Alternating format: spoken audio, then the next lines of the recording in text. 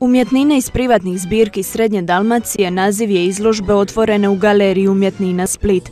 Zahvaljujući privatnim zbirkama 29 vlasnika sa područja Splita, Trogira, Sinja, Omiša te sa Braća i Hvara predstavljeno je 59 umjetnina nastalih u periodu od 14. do druge polovice 20. stoljeća. Umjetnine postoje zato i postoje po tome što su gledane.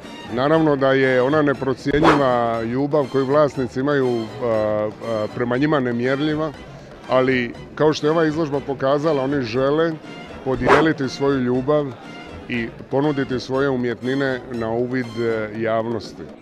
Izložba predstavlja ostavštinu iznimne kulturno-povijesne i umjetničke vrijednosti, koje uključuje remek dijela hrvatskih umjetnika poput Emanuela Vidovića, Marina Tartalje, Vaska Lipovca, Vlahe Bukovca, Dušana Đamonje, Ignjata Joba, Miroslava Kraljevića, Ede Murtića, ali i dijela nepoznatih mletačkih i nizozemskih slikara. Predstavljena su dijela iz različitih povijesnih razdoblja, različitih stilskih osobina, različitih autora, s tim da su ta povijesna razdoblja starija zastupljena najčešće dijelima stranih prvo talijanskih majstora, a onda kako, kako se približavamo, sve više je dijela umjetnika koji su iz Hrvatske i koji su hrvatskog porijekla. Dakle, to je od Ivana Rendića, Vlaha Bukovca pa do Iva Dulčića i ovih umjetnika koji pripadaju razdoblju koji su djelovali oko 1950. i 1960. godine.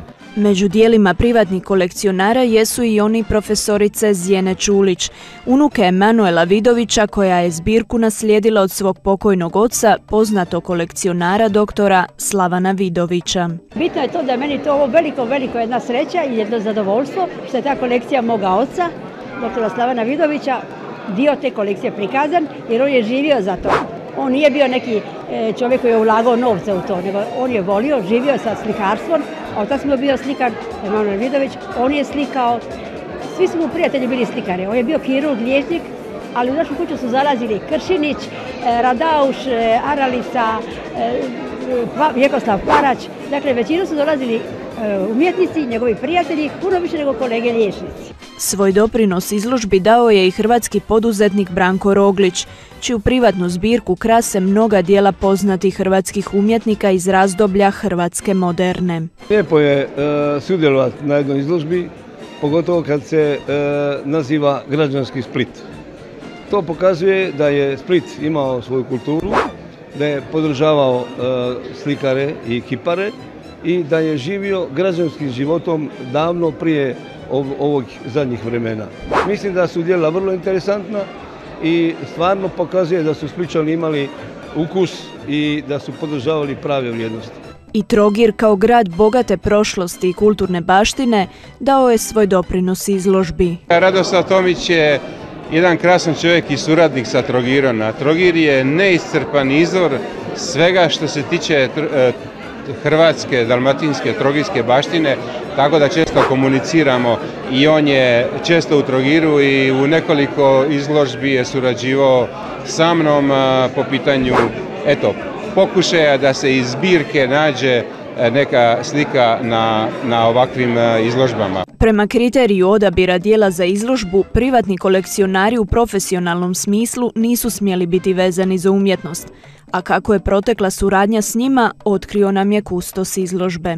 Svi su bili kooperativni, suradnički i više od toga bili su puni povjerenja i radosni zapravo da mogu svoje umjetnine posuditi na kraće vrijeme galeriju umjetnina, tako da i drugi vide što oni imaju i da mogu vidjeti zapravo eh, te lijepe, lijepa dijela, važna dijela, neobično važna, antologijska neka od njih su E, da se mogu izložiti u galeriju umjetnina, da se vidi zapravo da Split nema samo muzeje, nego da postoje umjetnine koje su u privatnim kućama, u domovima, a zapravo to je i smisao umjetničkog stvaralaštva da bude dostupno, da se gleda i da promatrač zapravo ima radost gledanja. Fenomen privatnog kolekcionarstva u svijetu je iznimno prepoznat. Kakva je situacija u Hrvatskoj? Pa i kod nas je e, kao i vani zapravo, samo što kod nas je, e, rekao bih, jedna nesreća da su se povijesni sustavi i društveno-politički sustavi često mijenjali i države su se često mijenjale, pa onda to izaziva određene nesporazume e, i turbulentni, prostor je turbulentan. Recimo, neko ko se rodio u Austriji, Austro-Ugarskoj, pa onda u staroj kraljevini Jugoslaviji, pa onda u Titovoj Jugoslaviji, pa onda dakle mnoštvo promjena političkih su uvjetovali i određene traume među kolekcionarima. Ne smijemo nikako zaboraviti da je poslije drugog svjetskog rata veliki dio kolekcija zapravo bio kolekcionara bio nepočudan, jer ako su imali određeno vlasništvo, to nije bilo društveno sankcionirano, nije se smatralo da je to nešto što bi trebalo biti.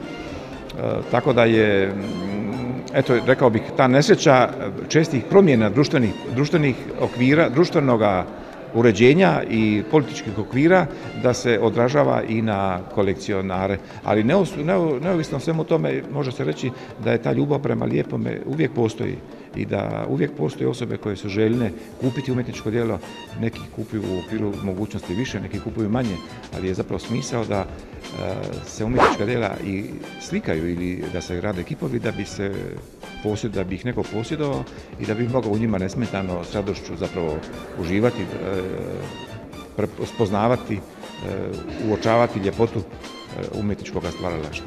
Rijetka prigoda susreta s dijelima koja su pohranjena u privatnim prostorima prilika je za brojne ljubitelje umjetnina da se upoznaju s nedostupnom baštinom. Složili su se brojni posjetitelji izložbe u galeriji umjetnina. Pa svakako zanimljivo, zapravo je prilično toga nepoznato jer e, sve ove, svi radovi iz ovih kolekcija su nedostupni javnosti i vrlo je zanimljivo vidjeti što ljudi skupljaju i čime se bave kad mi to ne vidimo.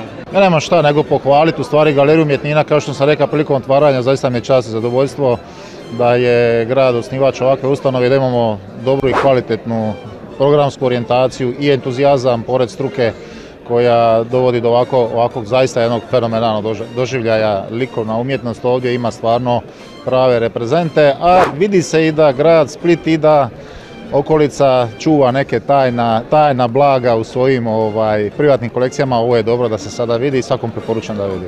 Slike, umjetnine, dragocjenosti koje se generacijama tu čuvaju su puno više od jednog artefakta koji visi na jednome čavlu, na jednoj brokvi u ovoj galeriji. One ovdje u ovaj prostor donose tu tradiciju koju ste spomenuli, donose e, civiliziranost, kulturnost i jednu plemenitost svijeta kojega mi ne vidimo, koji je u sjeni nekih domova, iza nekih zavjesa, u nekim stanovima, unatoč svim nedaćama, ratovima, pljačkama, e, teškim situacijama, ti ljudi su prodavali možda svoje obiteljsko srebro, ali lare i penate, svoje obiteljske, svoje obiteljsko intimno blago su sačuvali. I evo ga, velikodušno su ga podijelili nama. Ova izložba važan je projekt jer ne predstavlja samo Split nego i male sredine, a slična izložba umjetnina iz privatnih zbirki priredit će se iduće godine, kada bi se predstavila dijela suvremenih umjetnika, ističe ravnatelj Galerije umjetnina. Ono što smo htjeli pokazati i što smo dokazali je da je Split sredina koja voli, cijeni i želi uživati umjetnosti i u privatnosti e, svoga doma. Nadamo se da će izložba doprinijeti da se formiraju mladi novi naraštaj kolekcionara i ljubitelja umjetnosti, a obećajemo da ćemo skoro vrijeme napraviti problemsku izložbu o tome šta to znači skupljati suvremenu umjetnost. Izložbu posvećenu privatnim kolekcionarima koji su nam omogućili uvid umjetničko bogatstvo područja Splita i okolice možete pogledati u galeriji umjetnina Split sve do 3. travnja.